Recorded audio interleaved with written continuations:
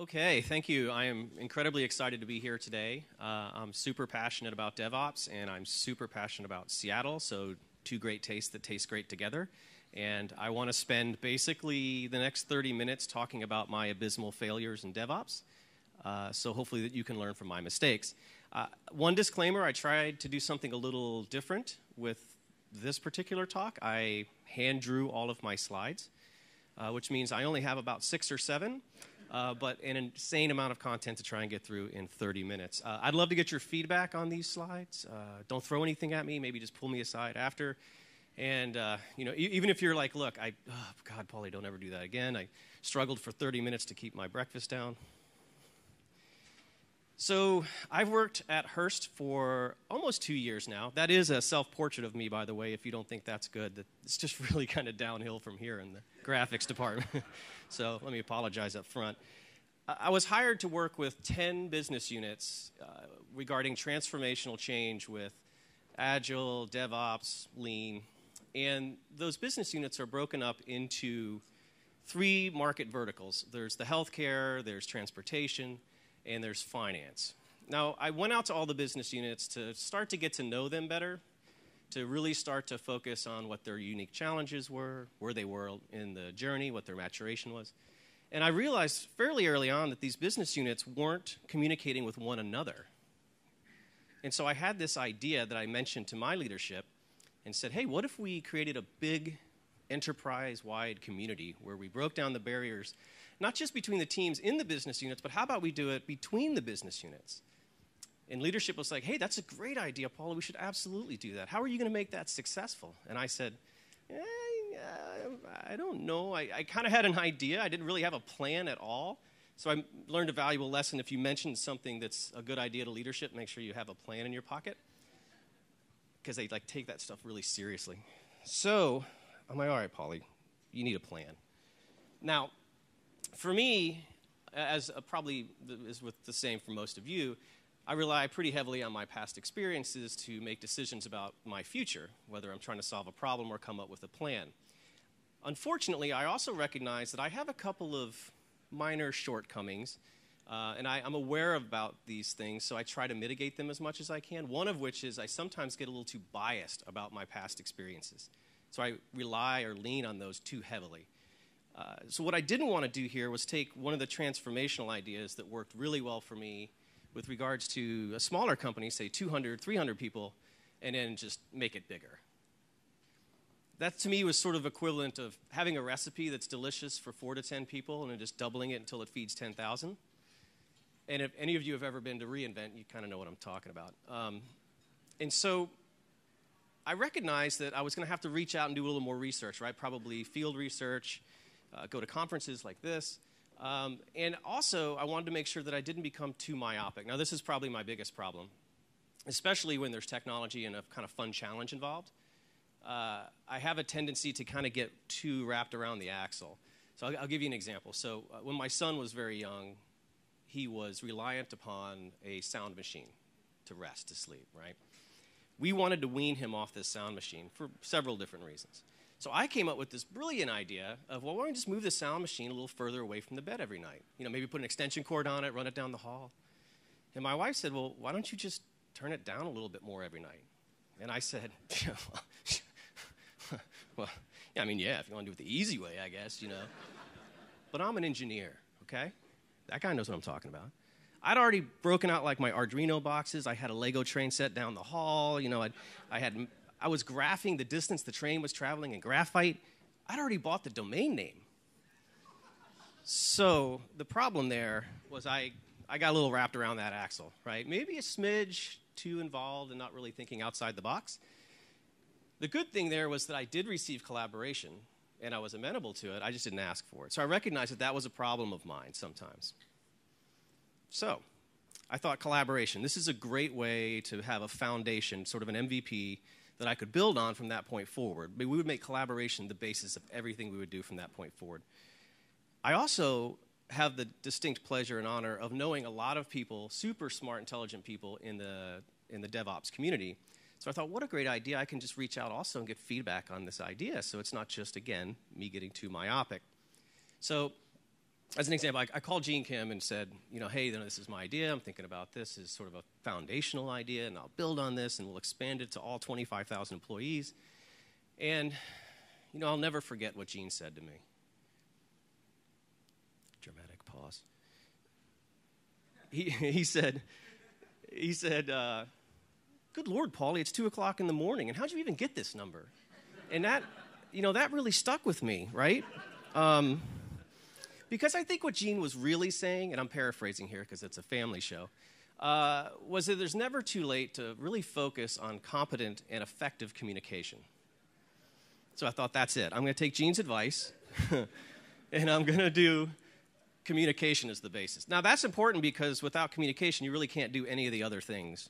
So I took this roadmap, I went out to the business units, I talked to the executives and said, okay, you know, here's the roadmap, this is how we're going to get from here to there and uh, we're going to focus on culture and process and tools, right? All the normal kind of stuff. We're not going to try and change your culture.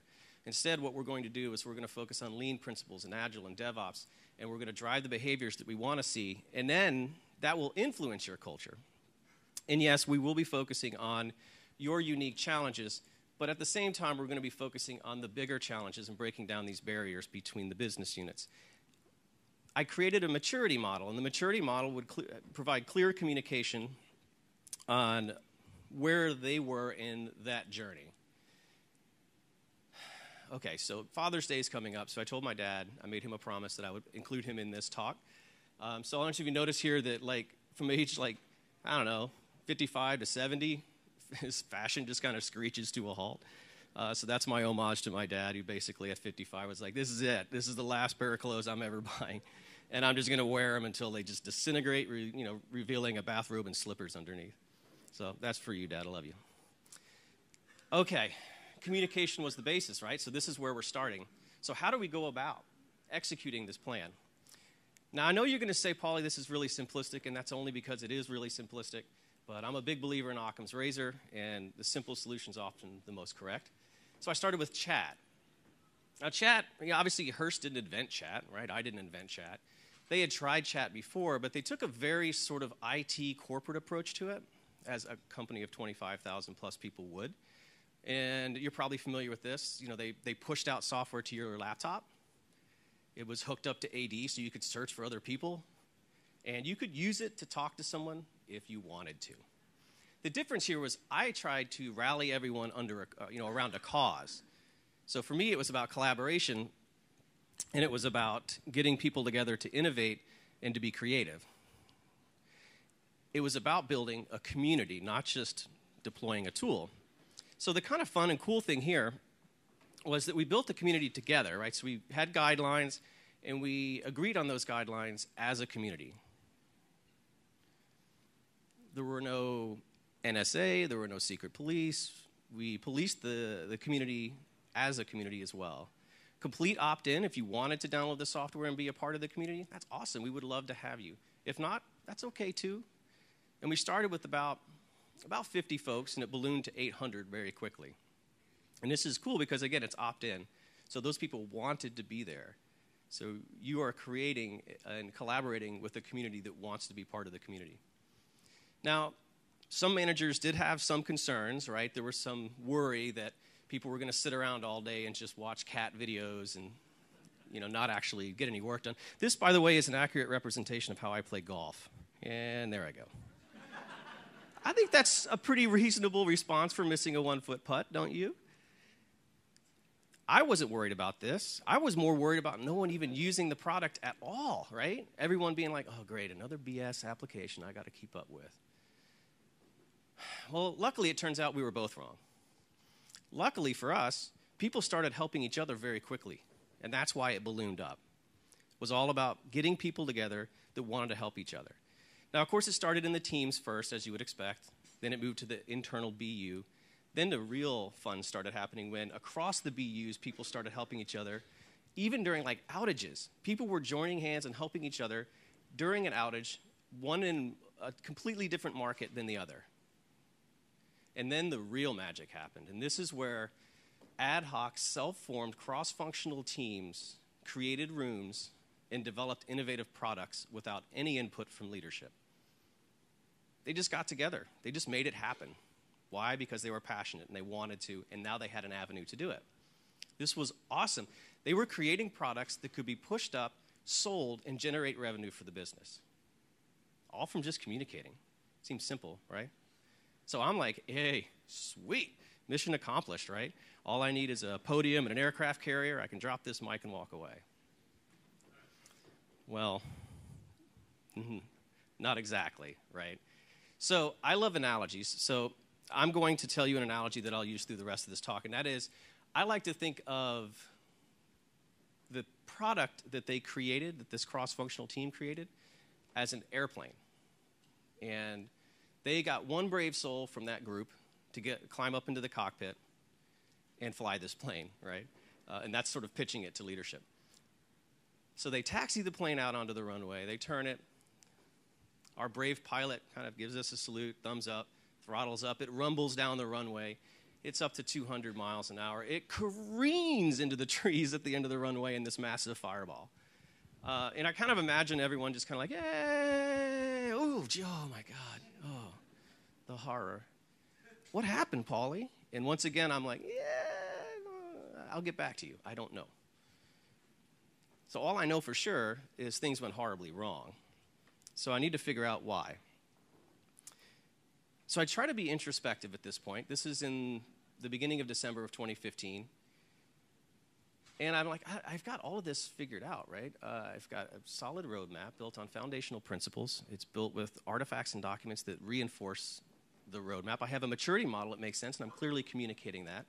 So why am I failing? So I said, okay, I'm going to go back to the business units, and I'm going to talk to the CTOs.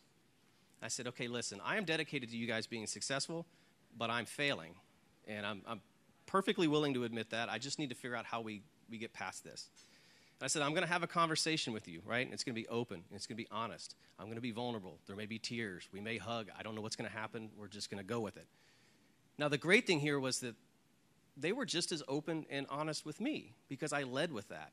Again, all back to communication, right?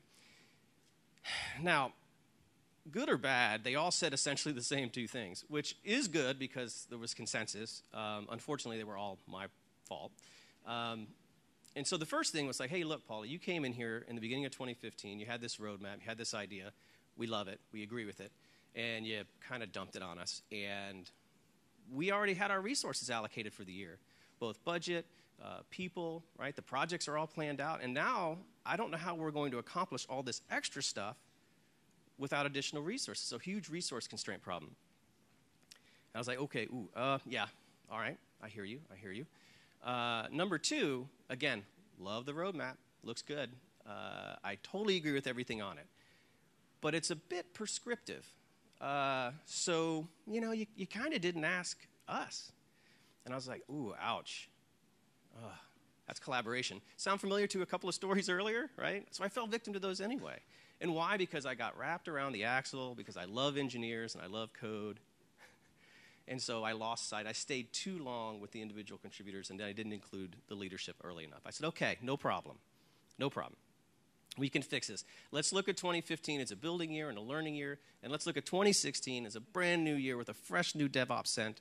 You know, by the, by the, by the end of 2016, DevOps will smell like a fresh Carolina pine forest.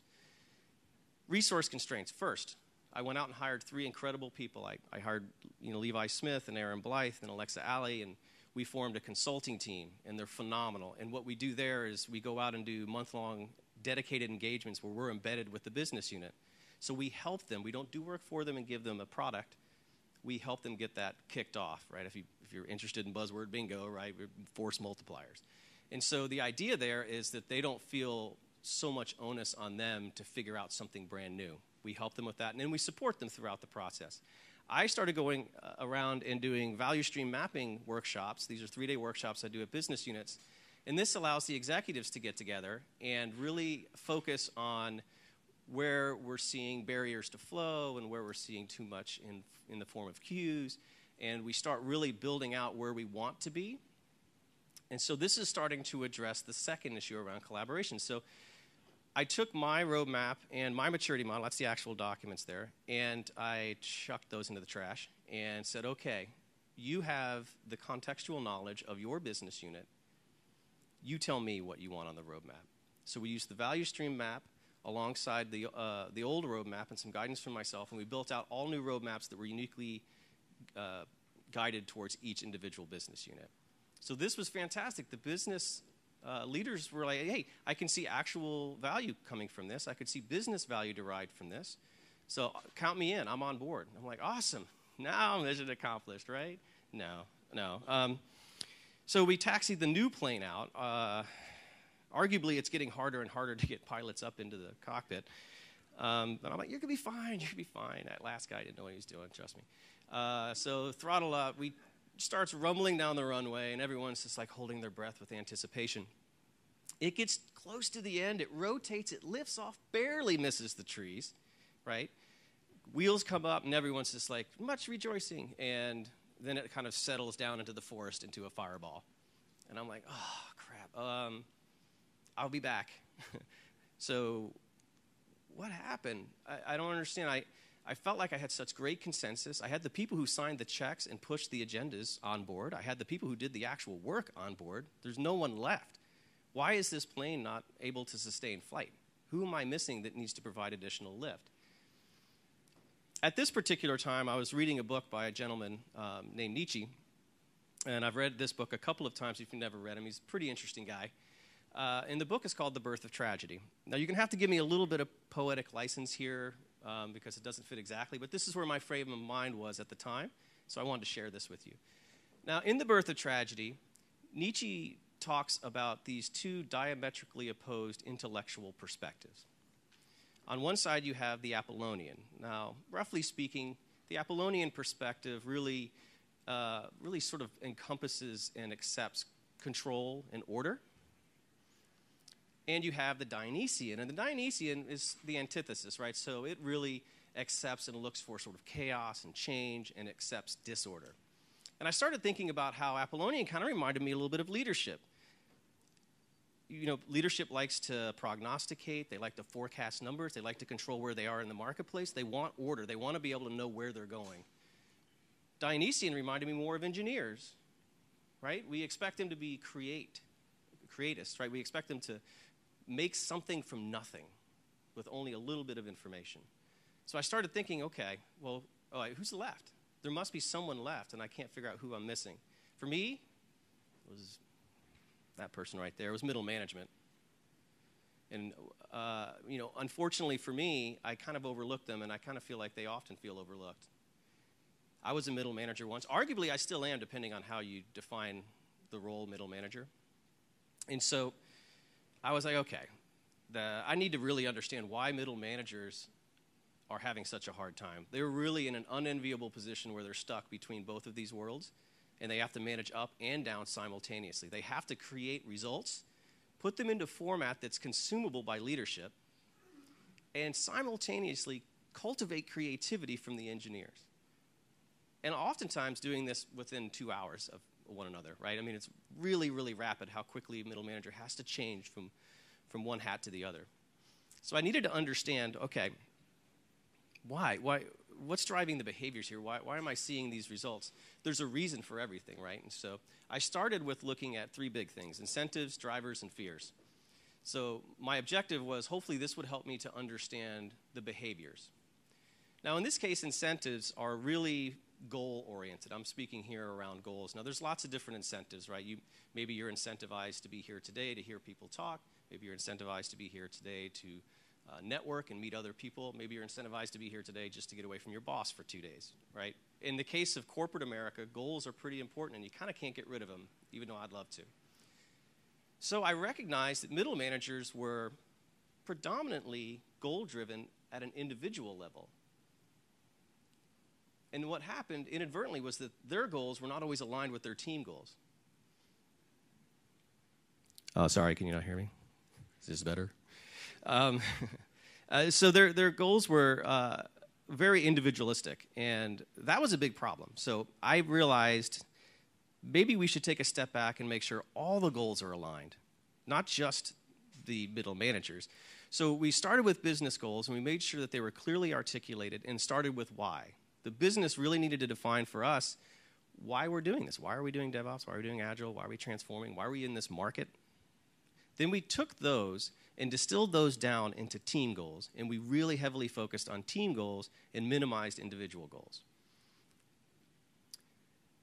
The reason for this was essentially so that I could try and draw in the middle manager into a collaborative mindset so that they could be part of this innovation rather than feeling a part from it.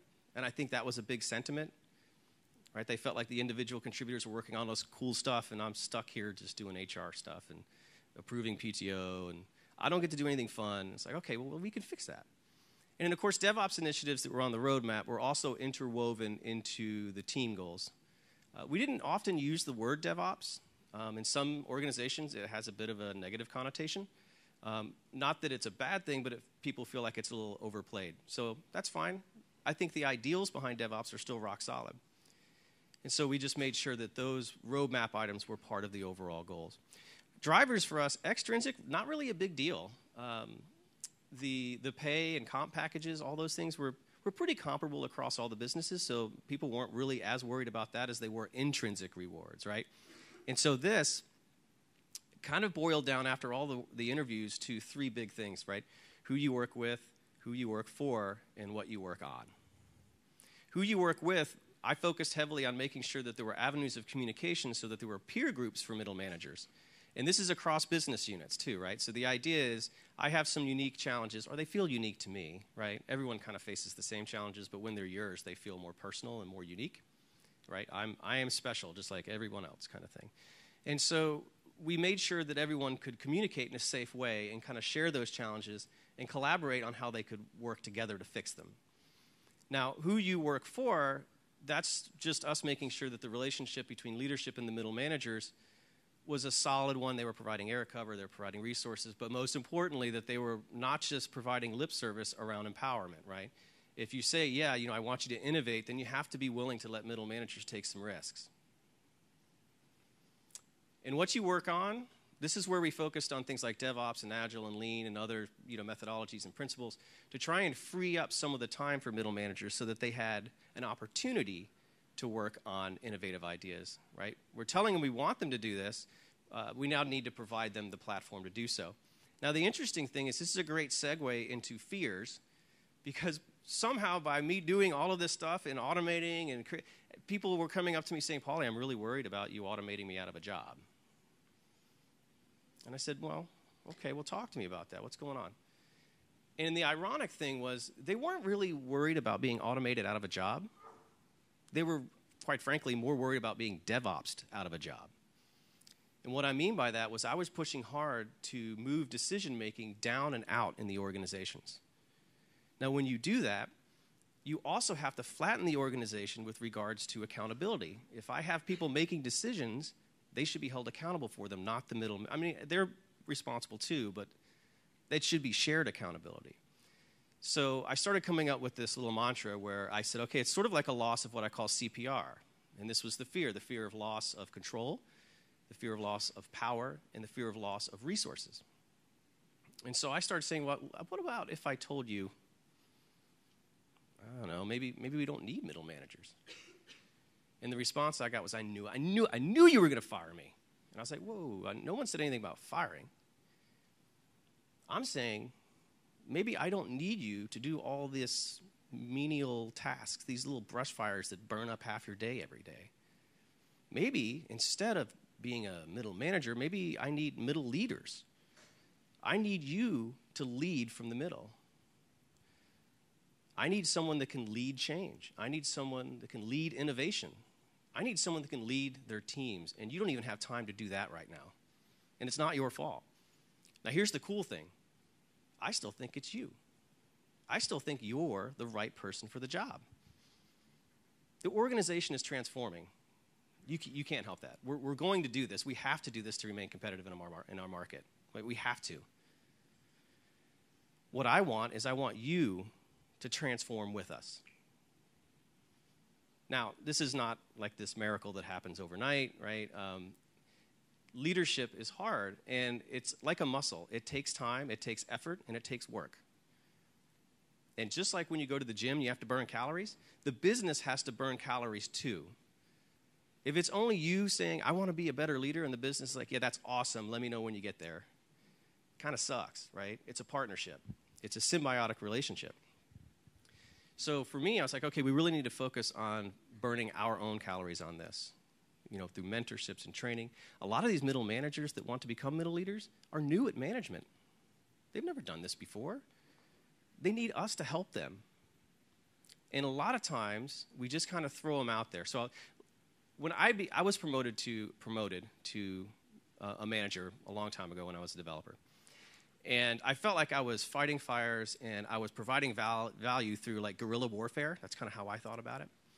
And I'm in the trenches with my buddies. And then one day somebody comes along and grabs me by the scruff of my neck and throws me into the middle of a minefield and goes, Congratulations, you've been promoted to manager. And I said, It's not really a promotion, um, it's kind of a job change. Like, I'm not even doing anything the same anymore. And I felt like any step I took in any direction had the potential to blow up in my face, and no one was there to help guide me through this minefield. And the real fear was I now have people behind me that they stuck onto me. Now, if I step on a landmine, I've got collateral damage. And it, they did nothing wrong other than that they were told to blindly follow the blind guy. So, this is what we focused on, and we had all the middle leaders on board, very excited, very empowered. We're helping them along, we're doing this together. So, once again, we pull that plane out onto the runway. Now it's virtually impossible to find anybody to fly this thing. Uh, so we, you know, we get the new guy because he doesn't, he doesn't know. Um, just sweating profusely, and I'm like, "You're gonna be fine. You're gonna be fine. Don't worry about it." Those other two guys, they didn't know what they were doing. You know what you're doing. so throttle up. It rumbles down the runway. Now, literally, no one's breathing, right? We're all just holding our breath, like, oh, God, if, if this initiative doesn't work, I'm not sure I've got enough sweat equity here to try another one. I'll just have to go work somewhere else. Gets to the end of the runway, and it's tight, it's close. It rotates, it lifts up, the wheels scrape the trees, and it's off. And that plane is flying. No, wait, it's soaring. And all because we focused heavily on this last bit, because it ended up being the most important piece of the whole puzzle. We focused on getting the, the middle leaders engaged and incentivized to be part of the team. We made sure that they had an avenue to talk about stuff when things were hard, a safe environment for them to do that, so that they could talk frankly with other middle leaders.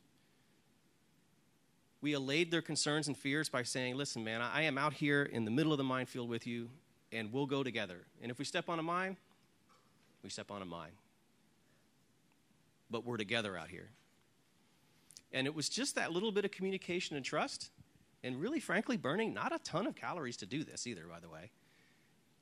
And that was it. Now we had the whole organization aligned, and we were able to hit speeds and velocities that I didn't even know were possible. And we were creating now products and innovative ideas completely ad hoc and we're driving internal satisfaction.